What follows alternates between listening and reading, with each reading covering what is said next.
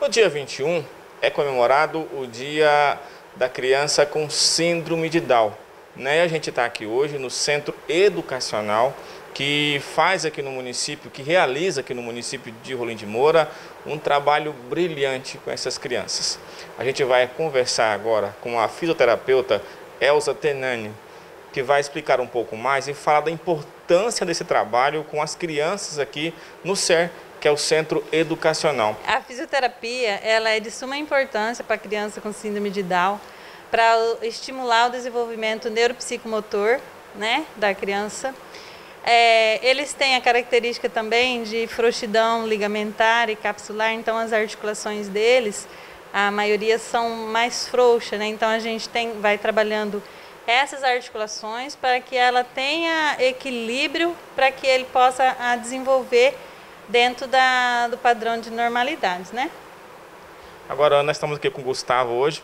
O Gustavo ele é super esperto e esse trabalho que você faz com ele vai servir para que ele possa desenvolver a cada dia mais. Cada dia mais. É, para ele poder andar, hoje ele já rasteja, ele é, engatinha, né? Ele ainda não realiza marcha.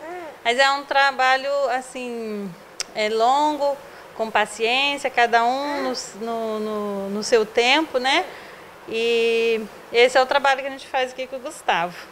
Agora, Elza, como é que é trabalhar com essas crianças, visto que elas, né, elas têm um QI avançado, né? Elas a, acabam surpreendendo a gente. O Gustavo, ele é, ele é incrível, né? Ele é nosso xodózinho aqui.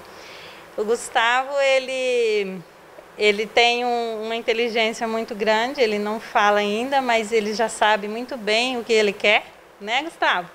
Quando chega, ele já quer ficar é, deitado na, na maremansa aqui, não quer fazer muitos exercícios, que é mais difícil não. Ele gosta que eu faça nele, não ele fazer nada. A criança com síndrome de Down, ela não é, ela não é uma doença, né? Ela só é, é uma má formação de um cromossomo, né? Na verdade, e então ela não é doente, então, ela não, não é contagiosa. As pessoas realmente, tem muita gente ainda que acha que isso é, é, é acaba discriminando né, essas crianças. E não tem necessidade, eles são crianças muito amorosas. Qual é a faixa etária que você atende aqui? Aqui eu tenho, é, eu tenho de um ano, um ano e meio e vai até acima de 20, né? Mas das crianças, eu tenho o mais velho que é de 12 anos. 12 anos.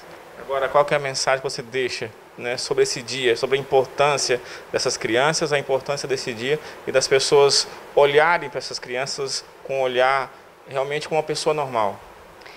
Ah, é que a pessoa que não, não olhe com discriminação e nem que eles sejam, que tenham uma doença, que eles eles são ser humanos normais, igual todo mundo, né?